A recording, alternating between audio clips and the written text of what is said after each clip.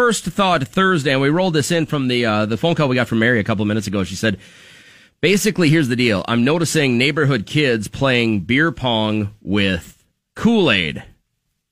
Should I be concerned about this? The age range she said was like from seven to like ten or eleven years old, and she was walking by and and they were playing, and it just kind of caught her off guard because yes, that is a game that you play in college uh, when you're going to get crazy, uh, but.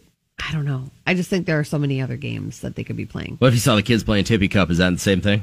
Kind of. Really? Yeah. If you if you saw a bunch of kids playing Tippy Cup outside, just screwing around, even if they weren't like chug chug chug, you still think that would be a problem? Kind of. But if you think about it, anything can be turned into a drinking game, but those are like the two main ones that Hey, people kind of go through. You got to read that text. Uh, it says teach them young so they can kick butt later. LOL. That's from 1881. Well spoken, sir. You give a boy a baseball. Uh, that's our question this morning. Again, you're, you're not right. You're not wrong. It's a first thought Thursday. So the first thought that popped into your head when you heard seven to 10 year olds are playing beer pong with Kool Aid. Hmm. Is that okay, Mary Beth? No. Why?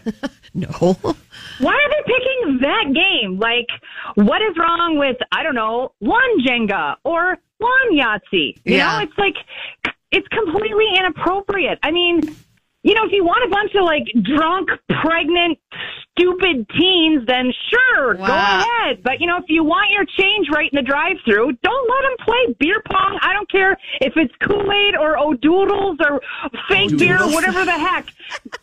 So it wasn't like quite the the the uh, rabbit hole I was thinking that they would go down if they did start playing this. But I mean, that's where people's minds go. They're going to learn early. That's where people's minds are going.